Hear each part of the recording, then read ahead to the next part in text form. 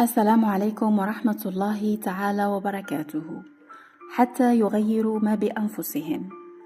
من خلال تعليقاتكم على الحلقتين السابقتين قررت أن أتحدث في هذه الحلقة عن التقبل لتوضيح هذا المعنى أكثر. لنتفق يا أصدقاء أن كل ما لا نتقبله نحن نغذيه بمشاعر منخفضة غضب توتر قلق إنزعاج استياء حزن وغيرهم. والأعمق من ذلك هو شعور عدم الرضا عن إرادة الله. يقول تعالى نسوا الله فأنساهم أنفسهم. نحن من خلال التقبل نتقبل إرادة الله. نذكر أنفسنا بالله. بالتالي الله يذكرنا بأنفسنا وبحقيقتنا. فكل ما نغذيه يزداد ويكبر وينتشر. قرارنا معرفة ما لا نتقبله هو أول خطوة لإيقاف هذا الاستنزاف اللاواعي وهو أول خطوة لقبول إرادة الله وهو أول خطوة أيضا لتذكر حقيقتنا.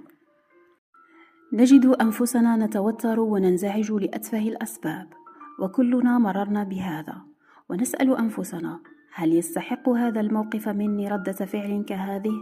ستجد أن الموقف لا يستحق والسبب هو تراكم هذه المشاعر الناتجة عن عدم التقبل، عدم الرضا، عدم التسليم لأقدار الله.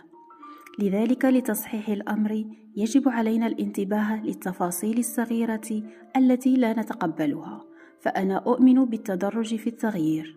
لا أستطيع أن أقول لشخص تقبل فقدان وظيفتك وهو لا يتقبل وينزعج ويتوتر ويشكي طول النهار أنه لم يشرب قهوته.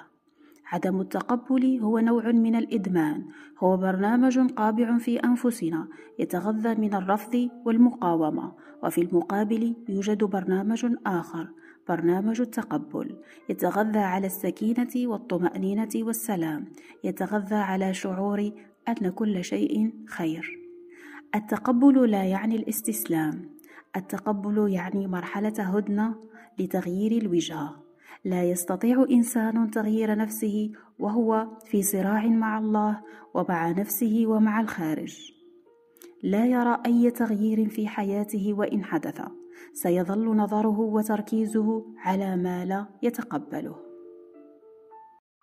لذلك لنتفق يا أصدقاء أن ندرك أن مرحلة التقبل هي مرحلة استراحة محارب لاستجماع طاقته وللانتقال للسر القادم لأننا لا نستطيع الانتقال دون إتمام مهمة التقبل.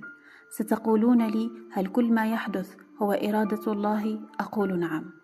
لكن إرادة الله هي تخدم أنفسنا.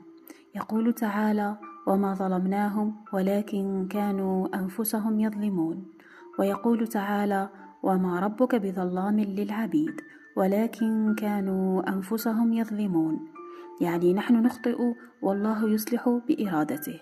فما علينا فعله هو الرضا بإرادة الله لأنها قبول لأخطائنا لأننا بشر وغير معصومين.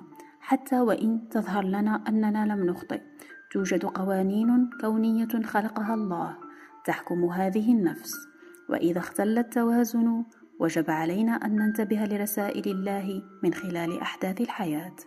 يقول تعالى قل هل يستوي الذين يعلمون والذين لا يعلمون؟ ويقول تعالى وما يستوي الأعمى والبصير. غير المتقبل أعمى لا يرى رسائل الله يرى فقط ما يزعجه. المتقبل يبصر لتلك الرسائل فيقر بخطئه ويعمل على ذاته. تكلم سيرجي لازاريف عن ذلك بإسهاب في كتبه. وإن كنت اليوم أستطيع إيصال هذه المعلومات لكم بهذا الشكل المبسط فيعود الفضل لله ولسيرجي لازاريف وللمترجم محمد سبلبل لأنه يسر لنا هذا العلم وهذا الخير. وجعل الصورة تكتمل عندي. لطلب نسخكم زوروا موقع الدار تجدونه بالوصف. إذا أعجبكم محتوى الحلقة شاركونا برأيكم بالتعليقات وشاركوا أصدقائكم الحلقة. لا تنسوا زيارة موقعنا والانضمام لصفحاتنا لمعرفة جديدنا. شكرا لإنصاتكم.